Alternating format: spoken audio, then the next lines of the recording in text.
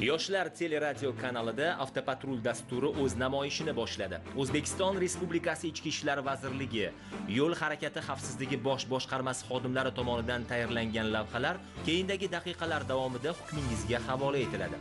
Demak ekran qarshisiga yaxshilab joylashib oling. Efirda avtopatrul.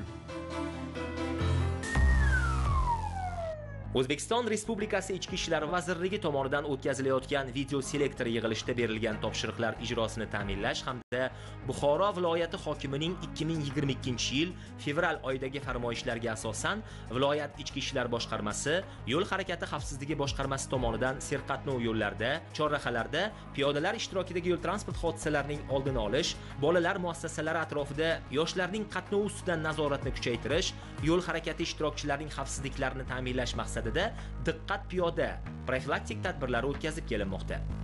Unga ko'ra diqqat piyoda keng qamrovli profilaktik tadbirni muvofiqlashtirish tezkor shtabi va tegishli tashkilotlardan iborat ishchi guruh tarkibi shakllantirildi. Birinchi navbatda ushbu guruh a'zolariga sog'liqni saqlash tizimidagi xodimlar biriktirildi. Chunki yo'llarda harakatlanish chog'ida qoidalarga amal qilmaslik oqibatida eng avvalo o'zimiz va atrofdagilarning salomatligiga putur yetadi. Viloyatimizdagi barcha mahallalarda e, ichki ishlar e, boshqarmasi xodimlari bilan birgalikda Э, yo'ldagi э, avariya holatlarini oldini olish va bunda e, bu holatlar o'ziga e'tiborsizlik ya'ni o'sha yo'llarda yurganda piyodalar yo'lakchalaridan o'tayotganda avtomobilda yurganda e'tiborsizlik natijasida kelib chiqadigan e, har xil e, jarohatlarni oldini olish bo'yicha mutaxassislarimiz tomonidan hamkorlikda suhbatlar o'tkazilyapti. Aholiga tushuntirish ishlari olib borilyapti. Ko'proq nimalarga e'tibor beryapmiz? Eng bizani katta e'tibor beradigan narsamiz bu o'sha jarohatlarning inson salomatligiga qay darajada ta'sir qilishi. Ya'ni insonni e, eng yomon holatda bu o'limga olib kelishi. Birinchidan. Ikkinchidan agar o'lmay qolgan taqdirda ham uning nogironlikka olib kelishi mumkin. Chunki har bitta jarohat har bitta inson tanasiga yetgan jarohat bu asoratsiz o'tmay qolmaydi. Albatta o'zini asoratini beradi. Targ'ibot tadbirlari davomida yo'l harakati xavfsizligi boshqarmasi xodimlari sog'liqni saqlash xodimlari bilan birgalikda mahallalarda fuqarolar bilan suhbatlar tashkil qilinmoqda. Uchrashuvlar davomida inson uchun berilgan eng katta ne'mat bu sog'lik salomatlik ekanligi yo'l harakati qoidalariga rioya qilmaslik oqibatida vujudga kelayotgan avariyalar orqali insonlar sog'ligiga jiddiy zarar yetishi tuzalgan taqdirda ham kelajakda uning sog'ligiga ta'sir qilishi o'lim holatlari hayotiy misollar yordamida tushuntirib o'tilmoqda. Bu tadbir mana bugun buxoro viloyati buxoro shahri zarafshon mahalla fuqarolari yig'inida ham yo'l harakati xavfsizlik xodimlari oilaviy poliklinika shifokorlari tomonidan fuqarolarimiz o'rtasida keng ko'lamli tushuntirish ishlari amalga oshirildi. Diqqat piyoda tadbirida yo'llarimizda sodir bo'ladigan avtoavariyalar avtoavariyalar natijasida fuqarolarimizga qanchalik zarar yetkazishi kelajakda ularni nogiron bo'lib qolishliklari aholi va bolalarga tushuntirib o'tildi. Diqqat piyoda tadbirida mahalla fuqarolar yig'inida keng ko'lamli tadbirlarni amalga oshirib biz barcha mahalla fuqarolar yig'ini xodimlari aktiv qatnashamiz. Shuningdek ishchi guruh a'zolari tomonidan aholi gavjum joylar bozorlar maktab va maktabgacha bo'lgan muassasalar oldida harakatni tartibga soluvchi vositalar mavjudligini tekshiruvdan o'tkazish zarur bo'lgan joylarda qo'shimcha yo'l belgilarini o'rnatish va yo'l chiziqlarini chizish choralarini ko'rish ishlari olib borilmoqda. Qoidabuzarliklarning oldini olishda targ'ibot va tashviqot ishlarining ahamiyati katta ekanligini inobatga oladigan bo'lsak yo'l harakati qoidalariga rioya etilishi bo'yicha mahalla korxona tashkilotlarida o'tkazilayotgan bu kabi uchrashuvlar ko'ngilsiz hodisalarning vujudga kelmasligiga qonun buzilish holatlarining oldini olishga yaqindan yordam beradi. Respublikamizda ko'zi ojiz va ko'rish qobiliyati zaif bo'lgan bolalar maktab internatlariga yaqindan yordam berish maqsadida buxoro viloyatida ham muayyan ishlar boshlab yuborildi. Yaqinda viloyat hokimi hamda viloyat ichki ishlar boshqarmasi boshlig'i buxoro shahridagi gazli shoh ko'chasida joylashgan 24 sonli ko'zi ojiz bolalar uchun ixtisoslashtirilgan maktab internat faoliyati bilan tanishdi. Maktab internat jamoasi talablaridan kelib chiqib bugun ular uchun ovozli svetofor qo'yib berildi. To'xtab turing to'y to'xtab turing to'y. Yigirma to'rtinchi sonli ko'zi ojizlar maktab internati avtomobil yo'lida endilikda ovozli maxsus yangi svetofor qurilmasi o'rnatildi. Bu orqali maktab internatga kelib ketuvchi o'quvchilarning xavfsizligini ta'minlash asosiy mezon hisoblanadi. Buxoro viloyati ichki ishlar boshqarmasi yo'l harakati xavfsizligi boshqarmasi hamda buxoro avtoyo'l boshqarmasi bilan o'zaro hamkorlikda o'rnatilgan mazkur ovozli svetofor ko'zi ojiz insonlarni yo'ldan kesib o'tish jarayonlarini yanada osonlashtiradi va har bir chiroq yongani haqida ovozli xabar berib ogohlantiradi. To'xtab turing to'y. To'xtab turing to'y. Bu yerda qo'yilgan svetofor boshqa svetoforlardan farq qiladigan jihati bu ovozli svetofor bo'lib to'xtab tur stoy mana o'tish jarayonida ovoz bilan o'quvchi yo o'tadigan inson eshitib ko'zi ko'rmasada yo'l to'xtagandan keyin bemalol o'tish ruxsatini olib yo'lakdan o'tish imkoniyatlari yaratildi. Biz juda xursandmiz. Mana to'xtab tur deyapti demak quloq bilan eshitadi ko'z ko'rmaydigan bola bemalol o'tish imkoniyati yaratildi. Buxoro viloyati yo'l harakati xavfsizligi boshqarmasi barcha mana shu bizga xizmat qilgan insonlarga o'z minnatdorchiligimizni maktab rahbariyati nomidan bildiraman. 24 sonli ko'zi ojiz bolalar uchun ixtisoslashtirilgan maktab internati gazli shoh ko'chasi buxoro shahridagi markaziy va gavjum ko'chalardan biri hisoblanadi.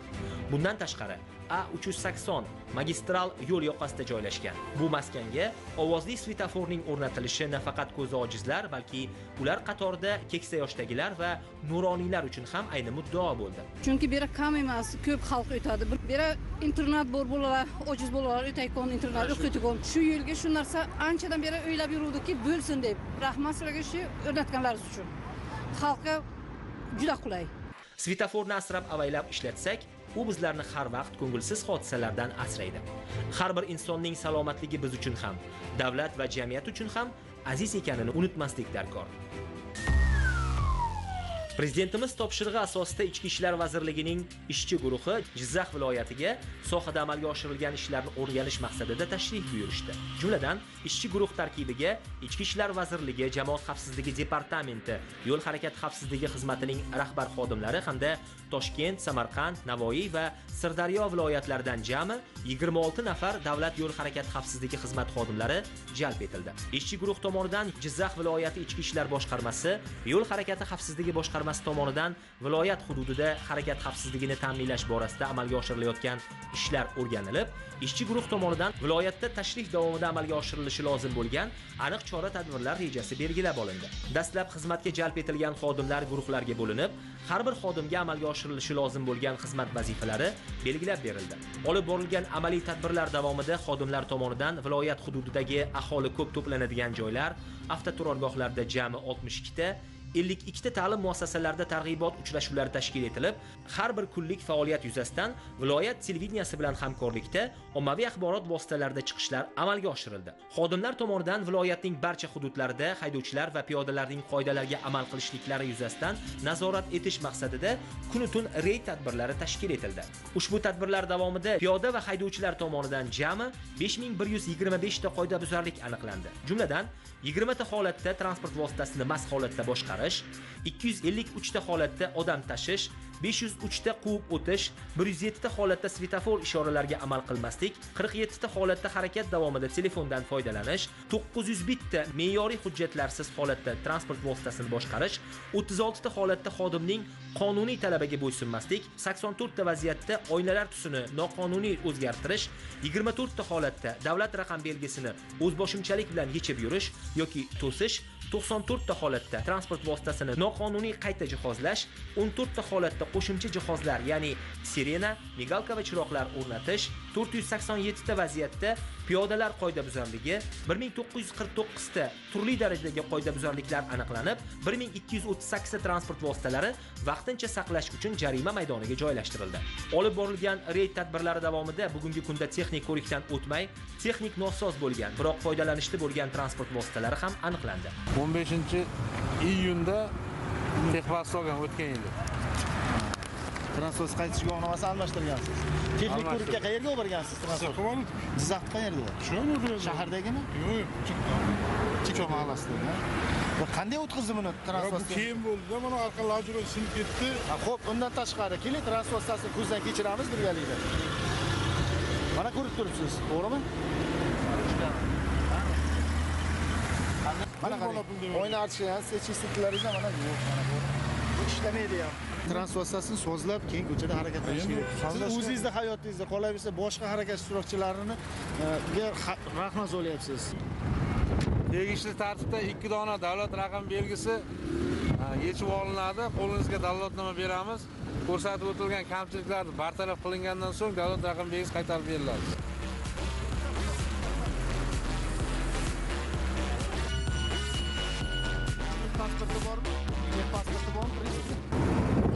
bormi yo o'zingiz yasaganmisiz yo'q hujjati yo'q. Pul bola suvda yasalgan to'g'rimi? O'zingiz yaqinda Ha, mumkin emasku bunday to'xtatganimizni sababi xodimlar to'xtatgan sababi kuzatib turibmiz.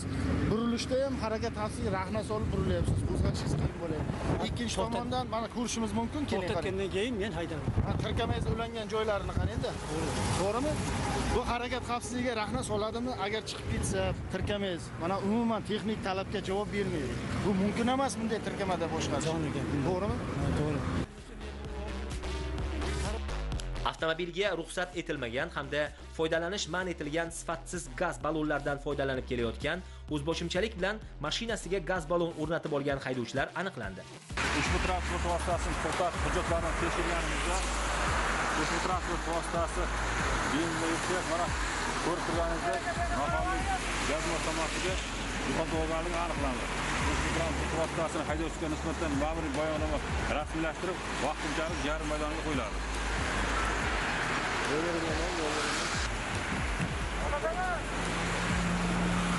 Qarang buni yigirma qarang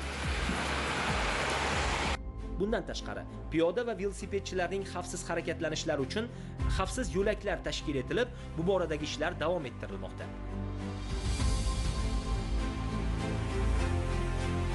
Tirbandliklarning oldini olish maqsadida yangi tashkil etilgan avtomobil yo'llari chorrahalarga yangi svetoforlar o'rnatish ishlari olib borildi.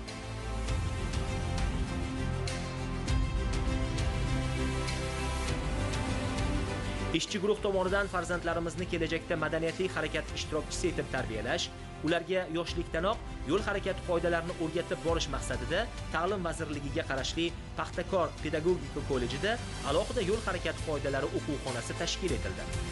Albatta sanab o'tilayotgan ishlar tadbirlar kelgusida sodir etilishi mumkin bo'lgan yo'l transport hodisalarining oldini olishga xizmat qiladi degan umiddamiz.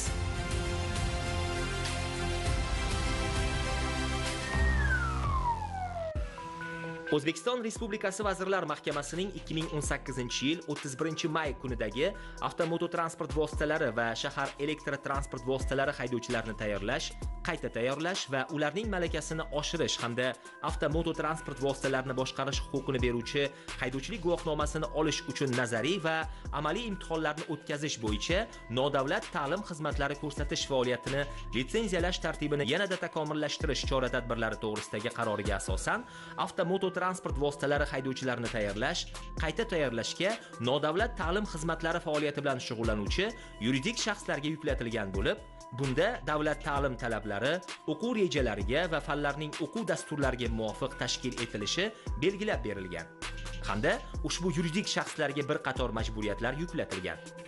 Ta'lim jarayonining belgilangan darajadagi natijalarga erishish uchun ishtirokchilarni zarur darsliklar, o'quv metodik adabiyotlar va boshqa axborot kutubxona resurslari bilan ta'minlash kabi hamda bundan tashqari bir qator majburiyatlar belgilangan bo'lib, eng asosiysi avtomoto transport vositalari haydovchilarini tayyorlash, qayta tayyorlash bo'yicha davlat ta'lim talablariga muvofiq ushbu o'qish jarayonida o'qituvchilar va instruktorlar tarkibining mavjud bo'lishi, muntazam ravishda ularning davomati yuritilishi hamda dars jarayonlarida ishtiroki ta'minlanishi belgilab berilgan. Tekshiruv vaqtida qator kamchiliklar va ko'pgina o'quvchilarning dars jarayonlarida ishtirok etmayotganligi aniqlandi.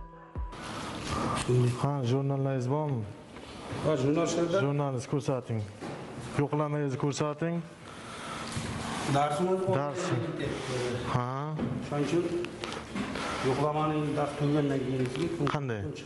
turibman shuni bular qaysi toifada o'quvchi? yo'q bular o'n birda bugun vajida kelgan bolalar Ha, atak onlayn darsiga o'tgan so'rsa, qani qog'ozlaringiz bormi? bor Buyruq chiqarganmisizlar? kecha hammasini yig'ib turib Sizga ta'lim etishlaringiz kerak-ku. Domla, tizimga kirdim. Keling, keling. Keling.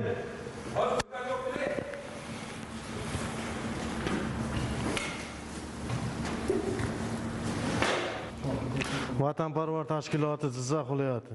Texnik va amaliy sport turlari unitar korxonasi. Yengil avtomobil haydovchilarini tayyorlov kursi yengil 11 bs toifadagi guruhi bo'yicha davomat tadbiri tekshirganimizda mana hozir onlayn tizimiga kirdik. Mana ko'rsatib qo'yibdi. Guruh ro'yxati to'g'ri. Darsga oxirmat kirgan vaqti. Tizimga kirganmiz. Mana tizimga kirgan vaqti. Bironta o'quvchi hali tizimga kirgan joyi yo'q. Dalolatnoma bo'yicha dalolatnoma tuzamiz haydovchilik guvohnomasiga ega bo'lish yaxshi-ku ya lekin yo'llarda harakatlanish vaqtida har bir shaxs nafaqat o'zi balki piyoda yo'lovchi va boshqa harakat ishtirokchilarining xavfsizligiga rahna solishga haqqi yo'qligini unutmasligi darkor. Bunda esa madaniyat va yo'l harakati qoidalari bo'yicha bilimning shakllanganligi muhim o'rin tutadi. To'xtamasdan harakatlanish taqiqlanadi. Qaysi yo'l belgi? Ta'riflab bering mana harakatlanish taqiqlanadi o'z nomi bilan aytib turibman yozgansiz mana daftaringizda kunlik o'tgan ekansiz chizgan ekansiz mana. Nimaga bilmaysiz? O'zim nomini aytib turibmanku to'xtamasdan harakatlanish taqiqlanadi taqiqlovchi belgiga kiradi. Ho'p qaysi yo'l belgisi? Siz bilasizmi? To'xtamasdan taqiqlanish belgisimi? To'xtamasdan harakatlanish taqiqlanadi. Qayerlarga qo'yiladi masalan e, betonga qanaqa bo'ladi ayting menga? Ta'riflab bering qani? Nimaroq x qilingan yo'q u to'xtash taqiqlanadi u boshqa yo'l belgi aytinglar ukalar nimaga o'qimaysizlar Bu kabi tekshiruv tadbiri Zarbdor tumanida joylashgan avtomaktabda ham o'tkazildi. Afsuslar bo'lsinki, bu tashkilotda ham bir qator ko'z yumib bo'lmas kamchiliklar aniqlandi. O'quvchilarning davomati bo'yicha berilgan savollarga tashkilot mas'ullari hamda ta'lim muassasasi xodimlari turli xil bahonalar keltirishdi. o'quvchilar davomati bo'yicha nima deysiz o'quvchilar davomati bo'yicha boyagi aytganimdek b toifada asosiy qizlar bo'lgani uchun o'zimiz obedgacha kelasizlar deb nima qilgan o'zlari shunaqa taklif kiritgan o'shaning uchun obedgacha o'qitib bugun ham jo'natganmiz. Keyin mana b toifada aslini olmashidan olingan o'quvchilar uchun borib dars o'tamiz. Ular chunki kepanerga dars o'tishiga sharoit qilolmaydi o'shaning boya soat uchda musulmon ikrom aka domlamiz. Kemta damasimiz instruktor ustozi bilan ketgan. Hozir o'sha yerda ho'p abedgacha kelgan nomzod o'quvchilarni kameradan ko'rsatib bering esa kamera glavniy kameradan. Главный kameramiz bor hozir. Qani protsessor shu kompyuterni oching qayerda glavniy kompyuter ha ochib ko'rsating qani?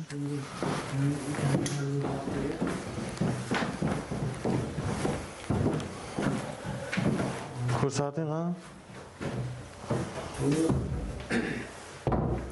Boyagi mana kameramiz ham sal ishdan chiqib qolibdida.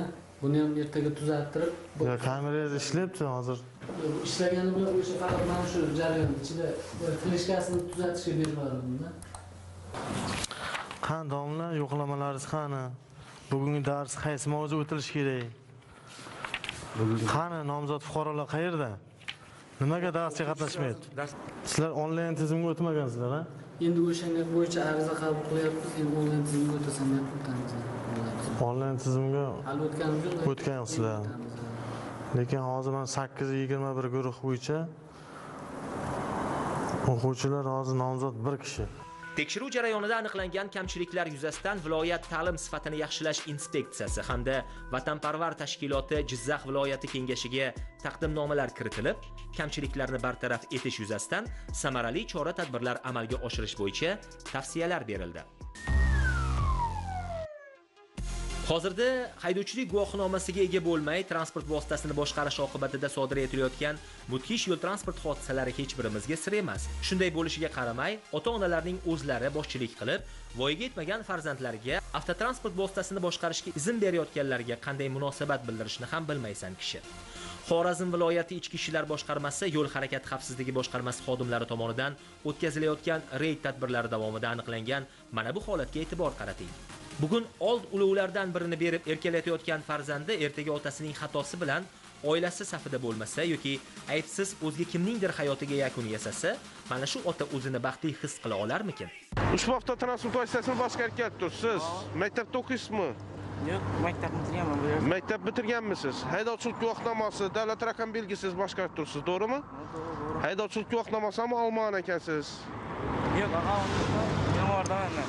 yo'q uchinchi yomg'ir bosh haydovchilik guvohnomasi yo'qku hozirgi kunda to'g'rimi? Bir yarim yo'q uyda bor. Uyda bor? Hozir yo'q deb turadingizku haydovchilik guvohnomasi yo'q demadim man boradim uyda turibdi uyda turibding haydovchilik guvohnomasiz davlat raqam belgisiz ushbu avtomashinani boshqarib kelib turibsiz to'g'rimi? Belgilangan tartibda shaxsingizga aniqlik kiritib ma'muriy bayonnoma rasmiylashtiriladi avtotransport vositasi vaqtinchalik jarimadan qo'yiladi. Tushuntirib bildimmi? Bundan keyin e'tiborli bo'ling. Yo'l harakati qoidalarini amal qiling Bugun farzandiga yolg'on gapirishni o'rgatish o'rniga ota-onalar bolalarga huquqiy bilimlarni va madaniyatni o'rgatganlarida edi, bugun yo'llarda sodir bo'layotgan ko'ngilsizliklar tufayli kimlarningdir hayotiga yakun yasalmasdi. maktab o'quvchisi ekan maktab o'quvchisini transport vositasini boshqarishga ruxsat berib tursiz mumkin emasku shunchalik yo'l transport hodisalarini ko'rsatib turibmiz maktab o'quvchisi bilan bog'liq.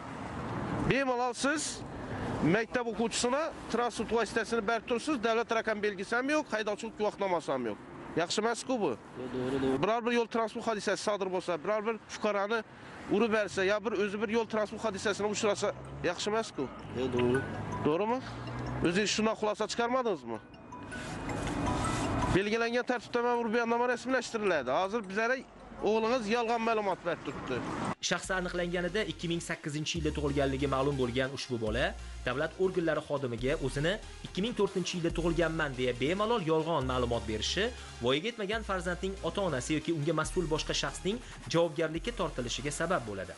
Fuqarolarning bu ko'rinishdagi e'tiborsiz va mas'uliyatsizliklari esa faqatgina o'z hayotlariga zulmat olib kirishlarigagina xizmat qiladi. Shunday ekan, yo'l tartib qoidalariga amal qiluvchilarnigina asrashini unutmang.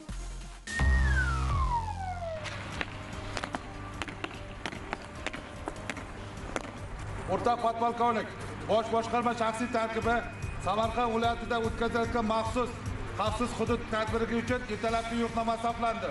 Axborot beruvchi kapitan norqulov. Salom o'rtoqlar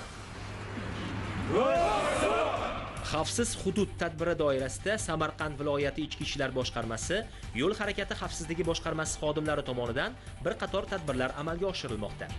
Ertalabki xizmat yo'riqnomasida yo'l harakati xavfsizligi xizmat xodimlariga xizmat jarayonlarida e'tibor qaratilishi lozim bo'lgan masalalar yuzasidan tushuntirishlar berildi.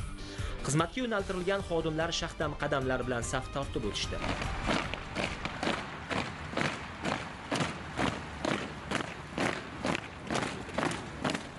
Shundan so'ng har bir yo'l patrul xizmat xodimi o'ziga biriktirilgan xizmat avtomashinasida xizmat vazifasini bajarish nuqtasiga yo'l oldi. Xodimlar yo'l harakati qoidalarini tartibga solish bo'yicha o'z ishlarini boshlab yuborishdi. Shu bilan birgalikda reyd tadbirlari ham olib borildi. samarqand shahar bedil ko'chasida harakatlanib kelayotgan tahoya rusumli 01 y 001 ob rusumli transportsiyasi to'xtatib tekshirilganda e, oyna tuslarini me'yordan ortiq qoraytirganligi aniqlandi va haydovchiga nisbatan ma'muriy bayonnoma rasmiylashtirib transportsiz jarima maydonchasiga qo'yildi Yo'l harakati xavfsizligi xizmati tomonidan maxsus ruxsatnoma olmasdan transport vositasini qayta jihozlagan haydovchilar ham aniqlandi.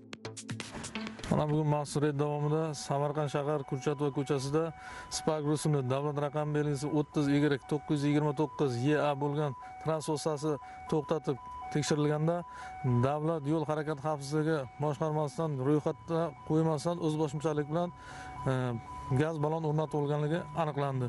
Bu bo'yicha e, tegishli tartibda ma'muriy bayonnoma rasmiylashtirilib transport vositasi vaqtincha jarima maydoniga qo'yildi. Bu holat boshqa qaytarilmadi boshqa haydovchilarga ham tavsiya qilaman bilan ish qilmanglar Tegishli hujjatlarsiz avtomobilni boshqargan haydovchilar aniqlanib, ularga nisbatan tegishli tartibda ma'muriy bayonnomalar rasmiylashtirildi.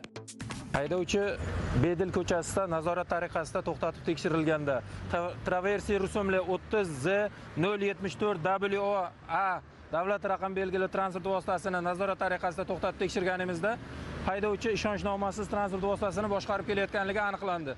Haydovchiga nisbatan ma'muriy bayonnoma rasmiylashtirib tegishli tartibda jarima maydoniga olib kirib qo'yamiz. Esimdan chiqdida уже komandir hozir borib olaman rudaki ko'chasida ushbu avtotransport vositasini to'xtatib tekshirganimizda me'yoriy hujjatlari yo'qligi uchun haydovchiga nisbatan ma'muriy javobgarlik kodeksining bir yuz o'ttiz beshinchi moddasi bo'yicha tegishli tartibda bayonnoma rasmiylashtirib vaqtinchalik jarima maydoniga qo'yamiz davlat raqam belgisini taqmay harakatlangan haydovchilar borligi ma'lum bo'ldi. Bedil ko'chasida avtomashina davlat raqam belgisini o'z boshimchalik bilan yechib qo'ygan avtomashinani to'xtatib tekshirilganda davlat raqam belgisiz harakatlanib yurganligi aniqlandi. Ushbu haydovchiga nisbatan ma'muriy bayonnoma tuzildi avtomashina jarima majlisiga qo'yiladi vaqtinchalik. Yo'llarda harakat xavfsizligini ta'minlash bugunning dolzarb masalasi hisoblanadi. Shunday ekan har birimiz qoidalarga amal qilaylik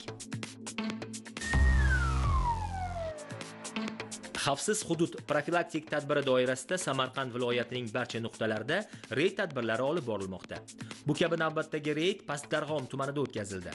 Viloyat ichki ishlar boshqarmasi yo'l harakati xavfsizligi boshqarmasi xodimlari qoidabuzarlik sodir etib yurgan haydovchilarni aniqlab ularga nisbatan tegishli choralar ko'rishdi. Ushbu davlat tashkilotiga tegishli bo'lgan Trailblazer avtomobili haydovchisi yo'l varaqasini to'ldirmay harakatlanib kelayotganligi aniqlandi. Pastdarg'om tumanida reyd davomida 3970 CA bo'lgan Trailblazer avtomashinasi to'xtatib berilganda yo'l varaqasi yo'qligi aniqlanib, ushbu haydovchiga qonuniy chora ko'rilib, mashina avtomobil jarima maydoniga qo'yiladi. Mazkur Nexia haydovchisi esa tegishli ruxsatnoma olmay transport vositasini qayta jihozlaganligi ma'lum bo'ldi. Pastdarg'om tuman Samarqand ko'chasida 30A 464 WA davlat raqam belgili Nexia rusumli avtomashina to'xtatib ko'zdan kechirish davomida avtomashinaga 2021 yil 21 iyun oyi gaz o'rnatganlar o'shandan beri 2022 yil mana fevral oyigacha ruxsat olmasdan harakatlanib yurganligi aniqlandi. Ushbu haydovchiga ma'muriy bayonnoma rasmiylashtirib avtomashina vaqtinchalik jarima majlisiga qo'yiladi.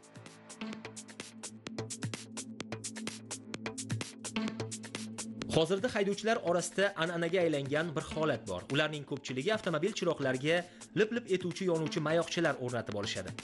Xuddi chiroq yonib o'chganga o'xshaydi. Qorong'uda esa ko'zni qamashtiradi.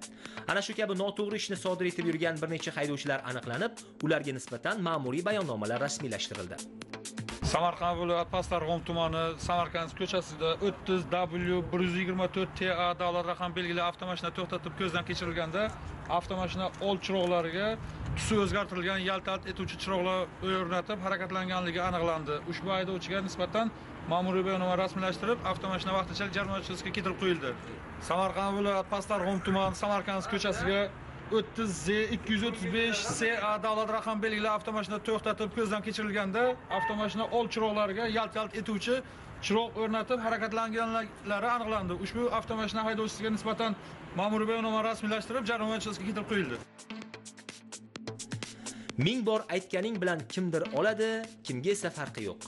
Qoidalarni buzmay ehtiyot bo'lib, transport vositasini boshqarayotgan haydovchilarga hech kimning e'tirozi yo'q, ammo qoidabuzarlarga esa jazo muqarrar. Avtopatrulning oldingi dasturlari orqali joriy yilning 29-yanvaridan 28-fevralga qadar Samarqand viloyati bo'ylab diqqat piyoda keng qamrovli tadbirlar o'tkazilayotgani haqida xabar bergan edik. Mazkur tadbirlarni samarali o'tkazishga jiddiy e'tibor qaratilib, bu borada targ'ibot hamda reyd tadbirlari olib borilmoqda. Viloyat ichki ishlar boshqarmasi, yo'l harakati xavfsizligi boshqarmasi 2-otryad xodimlari tomonidan ham mazkur oylik doirasida Samarqand shahrida reyd tadbirlari o'tkazildi. Unda qoidabuzarlik sodir etib harakatlangan fuqarolarga nisbatan ma'muriy bayonnomalar rasmiylashtirildi. Assalomu alaykum yo'l patrul xizmati inspektori Sardor Otabay Murodjonov. Hurmatli fuqaro, siz yo'l harakat qoidasining 19-bandini buzib, piyodalar o'tish joyida uyali qo'l telefoningizdan foydalanib harakatlanyapsiz. Siz to'g'ridan-to'g'ri harakat ishtirokchisi hisoblanasiz. belgilangan tartibda sizga ma'muriy bayonnoma rasmiylashtiramiz. Keyingi safar piyodalar o'tish joyidan, quloqchindan, kitob nashrdan Э, uyali qo'l telefoningizdan foydalanmaysiz. Tushuntira oldimmi? Tushundim. Velosiped haydovchilari ham, piyodalar ham, qolaversa barcha yo'l ishtirokchilari juda ko'p bor ogohlantiriladi. Shunday bo'lsa-da, belgilangan talablarni bajarishga kelganda ayrim fuqarolar xato va kamchiliklarga yo'l qo'yishmoqda. Assalomu alaykum. Yo'l patrul xizmati inspektori Sardor Otaboyev Murodman. Hurmatli fuqaro, siz piyodalar o'tish joyida uyali qo'l telefonidan foydalanib kelyapsiz. Harakat bu bilan siz bu harakatingiz bilan yo'l harakat qoidasining 19-bandini buzyapsiz. O'chirasizmi telefoningizni sal diqqatingizni qaratasizmi onlayn dars bo'lyapti onlayn dars bo'lyapti siz to'g'ridan to'g'ri harakat ishtirokchisi hisoblanasiz to'g'ri siz bu harakatingiz bilan yo'l harakat qoidasini o'n to'qqizinchi bandini buzib harakatlanyapsiz. Sizga nisbatan qoidabuzarlik yuzasidan ma'muriy bayonnoma rasmiylashtiramiz eng ko'p uchraydigan vaziyat piyodalarning yo'llardan kesib o'tish chog'ida chalg'ishlaridir bu yo'llarni kesib o'tish chog'ida telefondan foydalanish ko'rinishida namoyon bo'lmoqda. Assalomu alaykum. Yo'l patrul xizmati inspektori safdor otabay murodjonov. Piyodalar o'tish joyida uyali qo'l telefonidan foydalanib harakatlanyapsiz. Siz to'g'ridan to'g'ri harakat ishtirokchisi hisoblanasiz. Yo'l harakat qoidasini o'n to'qqizinchi bandini buzyapsiz opa. Sizga nisbatan ma'muriy bayonnoma rasmiylashtiramiz opa. Salomatlik avvalo insonning o'zi uchun kerak. Buni hammamiz yaxshi bilamiz.